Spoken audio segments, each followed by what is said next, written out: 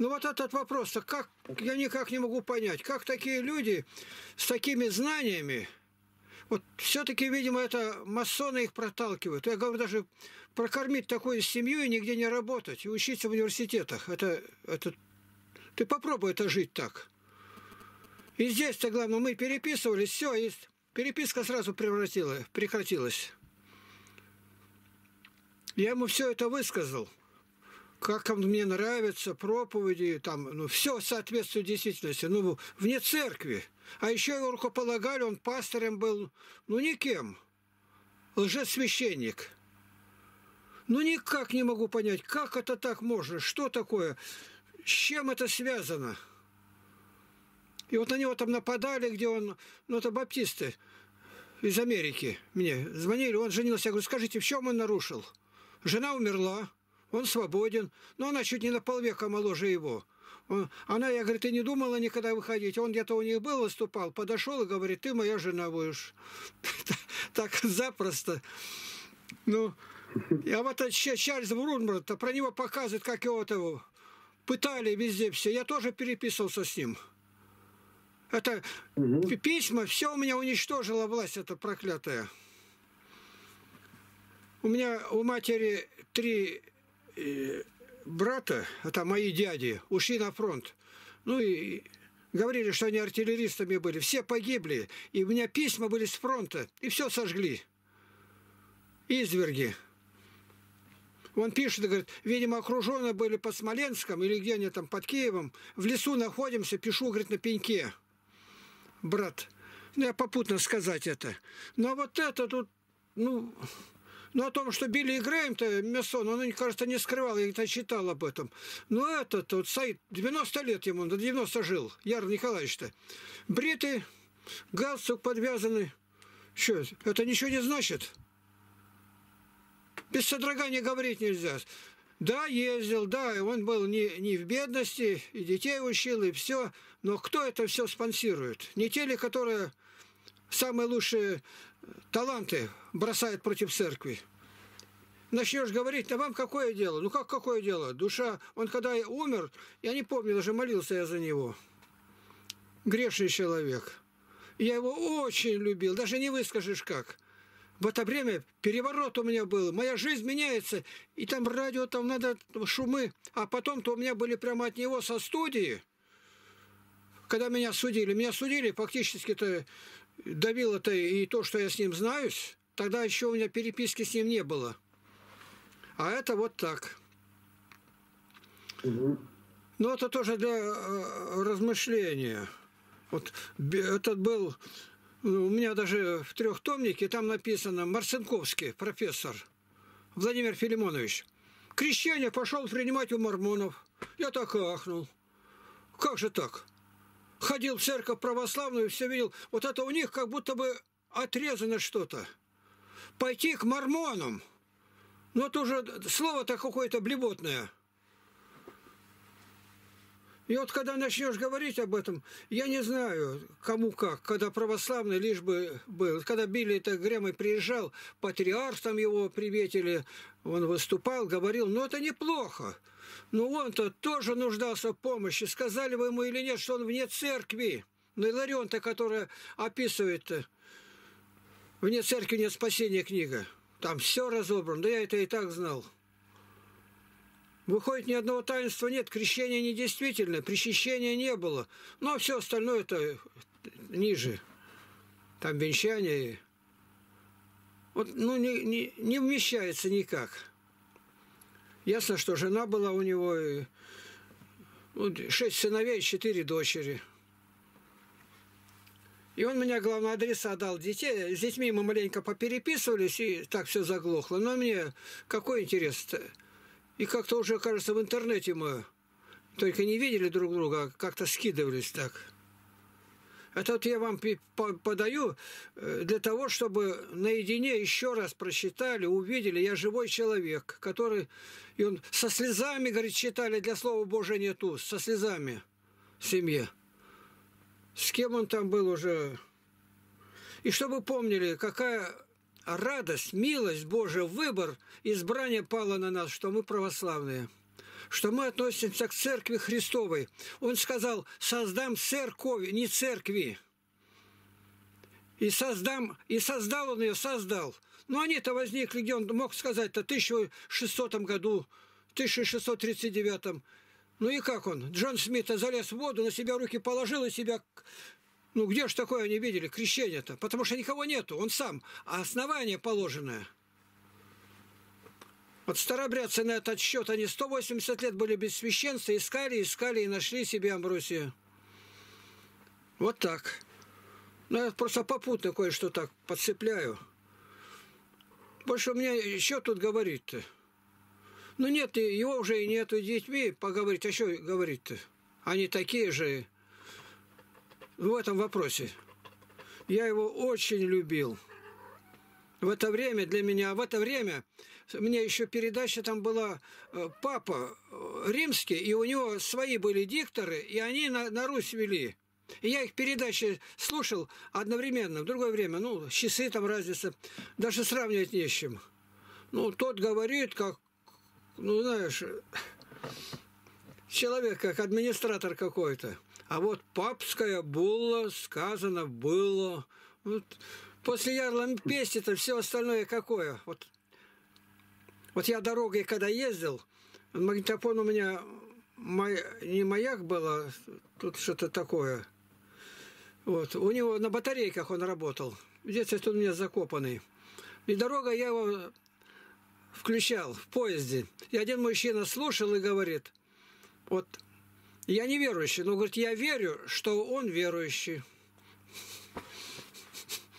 об этом, mm-hmm. о ярой песне. Ну, там не, ну, видно, как он говорит, вот мне это все дорого. Я-то я то со своими людьми-то мне не надо призывать к покаянию, там я, а он-то по эфиру покайтесь, покайтесь, миллионы русских для Христа.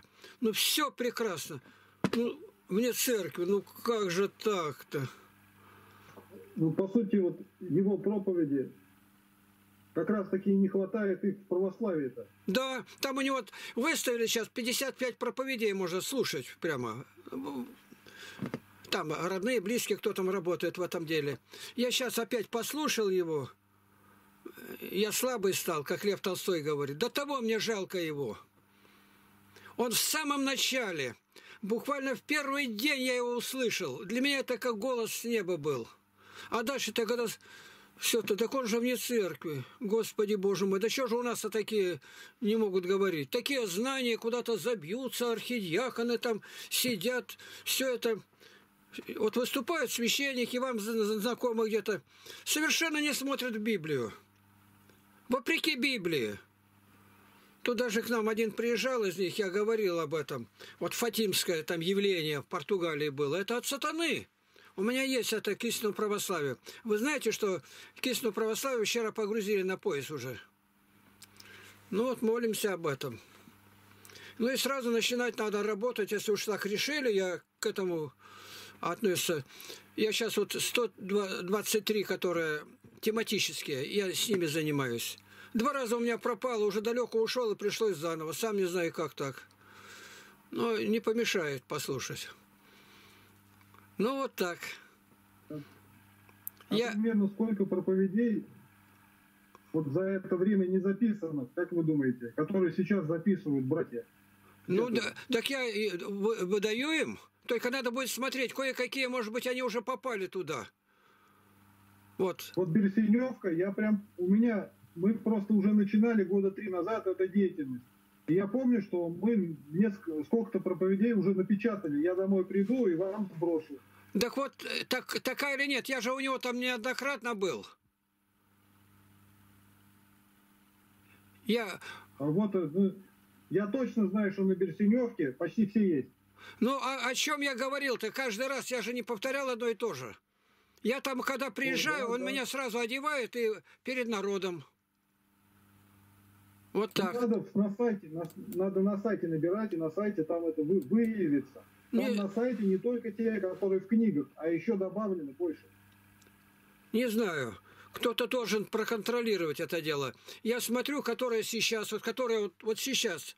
Ну, ясно дело, что я здесь, я сам не считаю, которая из Библии считает другой. Тут ясно дело, на сто процентов, что они новые. Но оказалось, новых-то совсем и немало. Там довольно много. Ну вот считайте, две, две недели, две проповеди примерно. Я говорил тогда, э, ну сколько-то лет назад, две проповеди я говорил в субботу и две проповеди в воскресенье на одном богослужении. А потом теперь только так. Когда батюшки нету здесь, я говорю по одной проповеди. Потому что молодежь там, я, чтобы они считали, Златоуста больше, я фактически все захватил, и я отошел от этого. Ну а по одной-то проповеди это уже... По одной э, в год у меня почти 56 проповедей. Ну и умножь даже на 10, уже 560. Вот так. Вот, вот. Очень много. Очень много. Это, это еще, это получается шестой том вырастает. Не знаю, посмотрим. Я вот гляжу, Библия, там то другое, полторы тысячи страниц. Надо в пять вложиться. Они берутся, они будут делать. Ну вот она, передо мной Библия с оглавлениями 1600 примерно. Ничего тут особенного нету. Ну, можно формат книги увеличить. Не знаю. Может быть и можно, но тогда неудобно будет где-то тут ставить на полке. Ну, а пока такое же, пускай будет. Шрифт сократить, сделать в объеме только больше. Пять. Трехтомник три, проповеди в стихах четыре, проповеди во свете Святой Библии пять. Вот этим я заканчиваю. Все. Как теперь объяснение? Я написал этому Николаю это Сироткину, он все принял. Я ему написал, каким цветом. Первое красное, второе синее, третье зеленое. Человек обратился к Богу. И четвертое желтое поспело. Все. А уже пятое белое, как всегда. То есть у нас ну, уже... Желтое получается. Желтое это еще солнце, Христос. Но желтое это пшеница, все поспело к осени. Человек обратился, думать о небе синее, а теперь зеленое, только начало. И в кончине жизни пришел спаси. Выращен урожай, созрело. Вот так. Я, я, я пока держусь на 5. Ну да, 5 больше подходит. Ну да. А даже по всему подходит. Ну все у меня тогда. Жить, что бы ни было, береги себя, лишнее не выступай. И помни, каждый раз благодари, что ты нас избрал, что мы в церкви находимся. В церкви Христовой. Ну, все, отошел. Ну, я так, а? Я так, я сейчас просто иногда, чтобы у меня душа отдыхала, я составляю проповеди в будущее, на будущее. Да. По каждой теме, допустим, я знаю, что там такое-то читается праздник, такое-то это. И чтобы у меня уже к тому времени, когда такая вдруг Господь даст такую возможность, у меня был набор уже. Да, да, да, да, да, да, да. А вот которая вам помогала, пожелает, там, кажется, Константиновна, Анна или как? Она как? Все, все, хорошо она также ходит с нами. Ну, слава Господу. Да. В хороших отношениях. Екатерина-то ваша попросила у меня, я ей скинул. Да, да. Тоже Она охота. мне помогает, учиться помогает. Она мне все предметы, которые, ну, которые я и так знаю, можно сказать, там, она за меня их проходит. Ну так что, осиливай давай, как следует. Ну дай Бог осилю. Дай Бог. Самое, ну... гла... Самое главное это литургика. Но... Все остальное для меня не представляет особого труда. Литургика и языки. Вот, все. Молчу. Ну, я даже немножко полюбил уже. Даже уже немного полюбил. Ну да. Вот я когда познакомился здесь с Александром Ивановичем Тавустиновым-то,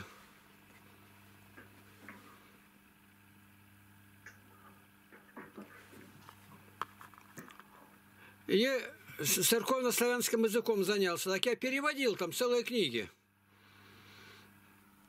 И каноны, и толкования откровения, то другого не было. Андрей Кисарийского, кажется, да. Толкование, откуда, на, на какой основе отец Геннадий Фаст вот это все сделал. Лучшее. Я вот всем говорю, когда симфония на неканонические, я предварительно ознакомился со всеми, какие были до революции. Ни одной не нашел, где бы сказал, что хорошо. Не профессионально, отвечаю. А наша, она небольшая, хотя мелковата, но она один к одному. Какой порядок, Вернигородская, которая на канонические были, я взял от нее эти, какие шрифты должны быть, все, размеры. Ну вот так. Ну и все тогда. Это, как говорится, лебединая песня. Если вот вы уже сказали, я сразу за это взялся. Я даже об этом не думал, что отдельно издать. Все. Что там у вас? Ну, ну, сейчас прочитаю тогда. Отошел. С Богом.